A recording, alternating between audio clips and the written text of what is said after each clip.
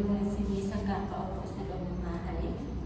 So, mag-exercise tayo today. Share ko lang sa inyo yung simple daily workout na ginagawa ko every day just to stay fit and healthy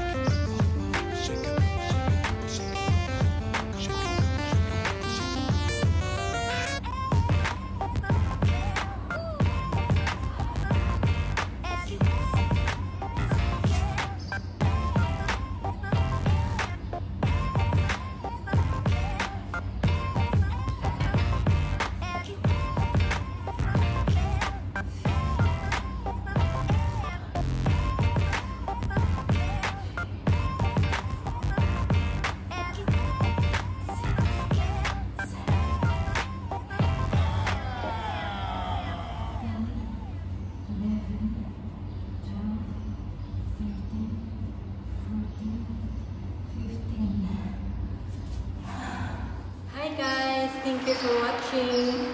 Yan lang muna ang exercises i-share ko today without any gym equipment. Kasi nga lockdown tayo, so we will make use of our time to be fit and healthy. Thank you for watching.